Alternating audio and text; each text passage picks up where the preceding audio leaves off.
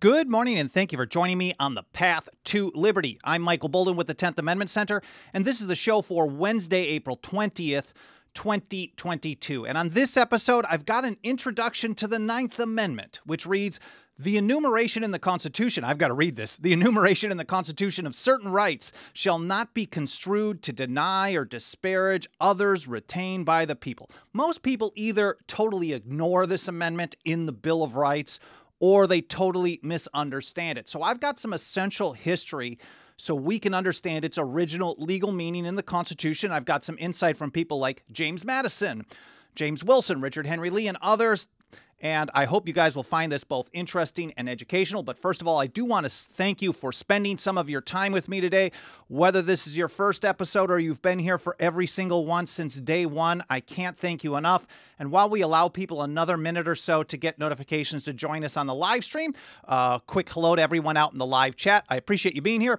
There's Missouri Freedom Initiative. Good to see you. And I hope the live stream went well. I got to catch up on that one from yesterday. Chariton Farmer, Liberty Revolutionary, Dave Simmons all in Missouri. Oh, no, Dave Simmons, I'm not sure where you are, but everybody else is in Missouri, it seems like. Uh, Leatanya King, Haji 54 in Oakland County, Sharon in SoCal, my neighbor. Mad Mom Non 2. I like that. Hunters F770 over on Twitch. Thank you for watching us over on that platform as well. Uh, let's get right to this. I want to start out again. I got to read this off to you because I don't have it memorized like the 10th Amendment, but it's a really important one. We'll start out with the Ninth Amendment, if I can pull it up on the screen here. The enumeration in the Constitution of certain rights shall not be construed to deny or disparage others retained by the people. And here from an article by Mike Maharrey we published a few years ago, he says generally Americans treat the Ninth Amendment like the uh, Bill of Rights unwanted stepchild. They mostly ignore it, and when they do talk about it, they often misunderstand it. In reality, he writes, the Ninth Amendment serves a very simple but crucial purpose. It expands the limits on the federal government, expands the limits on the federal government, not expands the power. A lot of people want to tell us that it's basically an expansion of power, but it's really an expansion on the limits of the power of the federal government. I'm getting told that the stream is not going out over to. Um, YouTube for some reason, but I'm recording here, so I'll upload later if needed. Anyway, so it's an expansion on the limits. It was designed to work as a partner with the 10th Amendment to reinforce these structural limits on federal power. Here's how Mike put it in an article that we published this week. Like the 10th Amendment, the Ninth is a rule of construction. The Ninth and 10th Amendments add nothing at all to the Constitution, and they don't take anything away.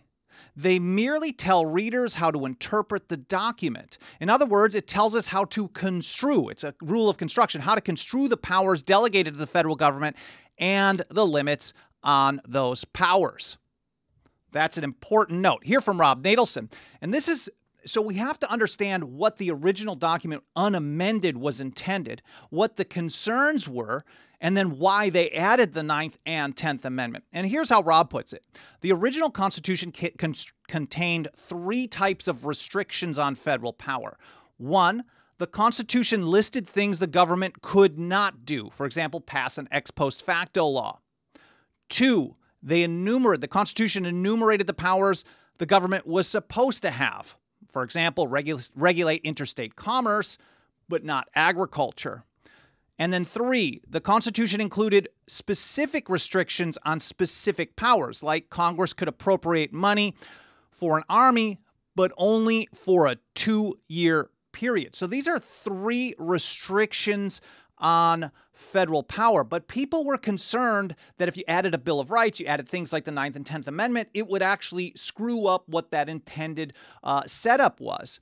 And here's how Rob puts it Some argued that Type 1, the list of things that it could not do, should be expanded with a Bill of Rights. They wanted further restrictions on federal power, but others, James Madison included, and James Madison is really who we look to as the primary drafter of the Ninth, pointed to a risk in that proposal. If you add this, it could be great, but it could be very risky. The concern was this because of the legal maxim, and this is Latin, so I'm going to get it really bad designatio unius est exclusio alterius. The designation of one thing implies the exclusion of another. They thought that maybe adding a Bill of Rights might encourage people to disregard the Type and 2 and Type 3 restrictions on federal power. So basically, see it upside down. James Wilson, I think, probably gave the best ex- explanation of this particular problem here from a speech in the, the Pennsylvania Ratifying Convention in November of 1787. He says, In all societies, there are many powers and rights which cannot be particularly enumerated. A Bill of Rights annexed to a Constitution is an enumeration of the powers reserved. If we attempt an enumeration, everything that is not enumerated is presumed to be given. The consequence is that an imperfect enumeration would throw all implied power into the scale of the government, and the rights of the people would be rendered incomplete. So they were concerned that, okay, we've got this uh, delegate and reserve power set up, and if we say, you know, okay, there's this, this Bill of Rights, then people are going to think, well, that's all you have. Uh, these are the listing, and everything else is cut off. And so Alexander Hamilton actually even was on that side as well. He said that adding a list of restrictions on federal power would be dangerous because it might be read to imply uh, that other basically otherwise unlimited congressional authority. And in a weird way, I hate to say it, they've both been kind of proven to be correct. Uh, because that's basically how people see it these days. Now, on the other side of the spectrum, we have people like Richard Henry Lee, who's on September 27th 1787, he made a motion in the Confederation Congress to include amendments and basically a Bill of Rights before even sending the document to the states for consideration of ratification. And this is from Melancton Smith's notes in the Confederation Congress. He says, No power should be exercised but such as expressly given, and therefore no constructive power can be exercised. To prevent this is the great use of a Bill of Rights. I covered this history behind the Bill of Rights, the untold story of why it exists, in an episode last December on Bill of Rights Day, December 15, 2021. I will link to that in the show notes. And speaking of the show notes, I should mention that uh, if you want to be able to read the stuff that I'm talking about, listen to that other episode, etc., you got to follow us over at 10thamendmentcenter.com slash path to liberty, all spelled out. 10thamendmentcenter.com slash path to liberty. On each individual episode, I publish a blog post that includes all the platforms are on, both video and audio only podcast edition. I appreciate all the likes and the comments and the reviews on Apple Podcasts and elsewhere. You can also find the links that I'm mentioning. There's a show notes section for each episode, and even our membership program where you can put your financial faith behind our work for as little as two bucks a month. Again, 10thamendmentcenter.com slash path to liberty. Uh, back to Rob Natelson. He says when a demand, when the demand, so they had this debate uh, Richard Henry Lee did not win out on getting a Bill of Rights attached. Uh, so they went to the ratification debates, and there was a lot of uh, effort to make sure that there were going to be no amendments. But at, after amount of time, uh, there was some proposals. They couldn't get it ratified in Massachusetts, for example, without recommended amendments. So that was the deal that they made. Okay, we're going to ratify it as is, but we're going to make a promise that they're going to add amendments. And they didn't actually follow through on it really quickly, but uh, they eventually did after some pressure from people like Richard Henry Lee, Elbridge Gerry, Samuel Adams, and others. But, anyways, Rob writes it this way. When the demand for a Bill of Rights prevailed, Madison agreed to draft one but he included what became the Ninth Amendment to make clear that expanding the Type 1 restriction on government did not mean abandoning Type 2 or 3. In other words, it was going to reaffirm the structure of the government as intended in the first place before amendments were added and make clear that it was going to be a government of limited delegated powers with everything reserved to the states the, or the people or the people of the several states. Here's how James Madison addressed this particular concern and explaining why he eventually included the Ninth Amendment in a letter to Thomas Jefferson, October 17th, 1788. He says, My own opinion has always been in favor of a Bill of Rights. Madison historians would be able to tell me if this was a flip flop or not. He did some, just like all, all politicians.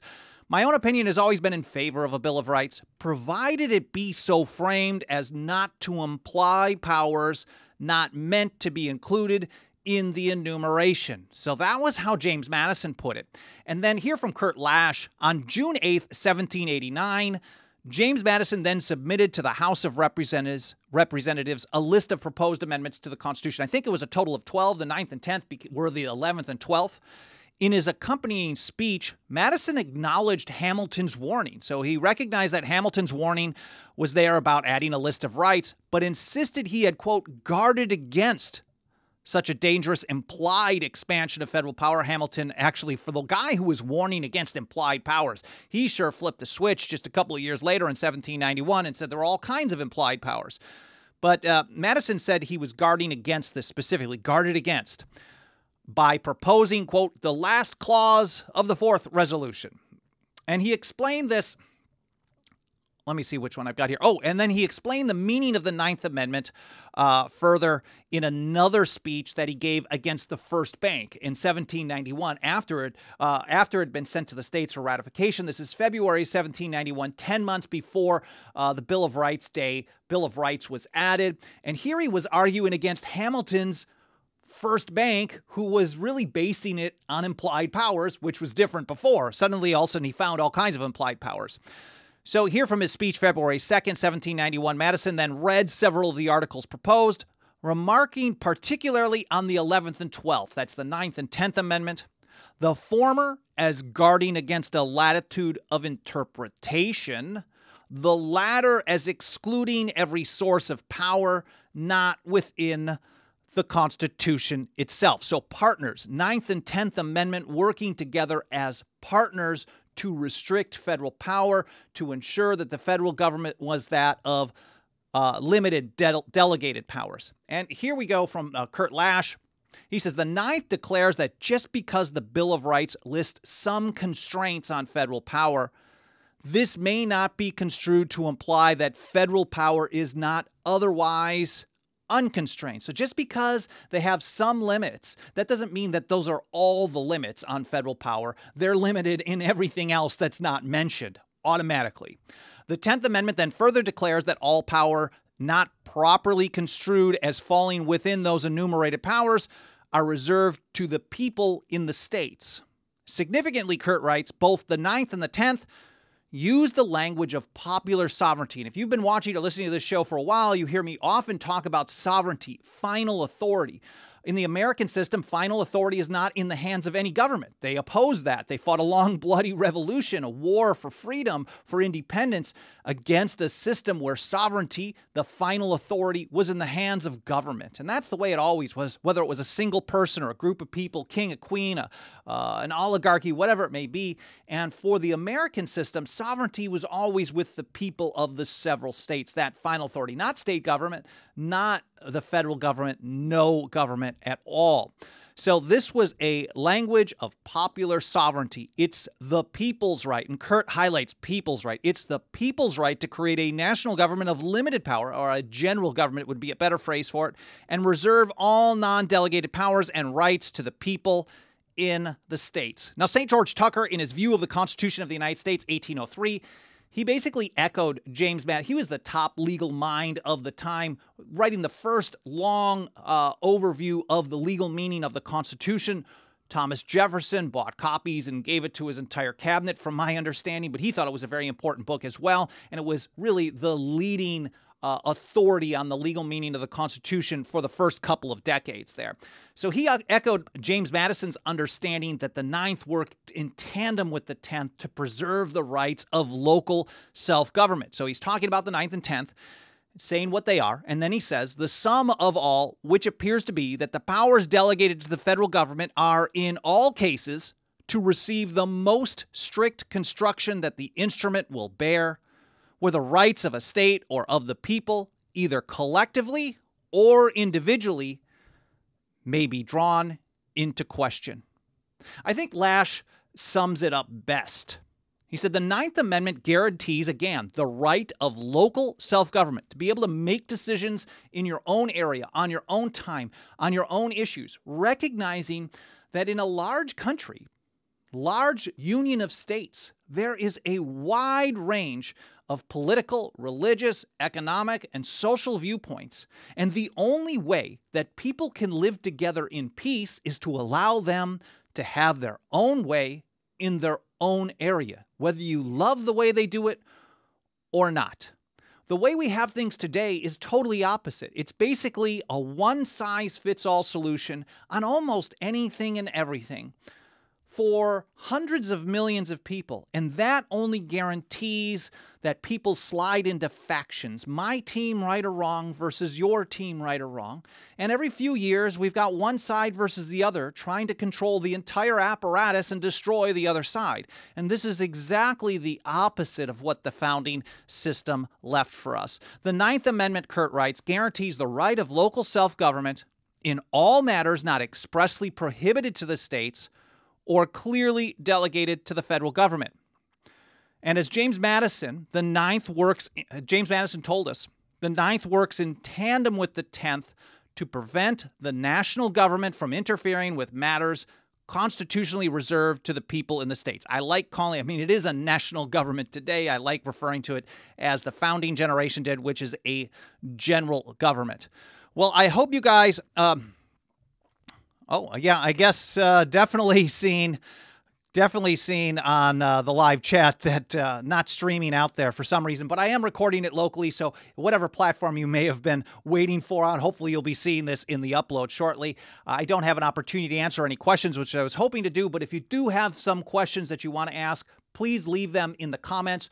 Uh, whether I guess live or later on in the archive is more likely, or you can email me at team at 10thamendmentcenter.com. Again, team at 10thamendmentcenter.com.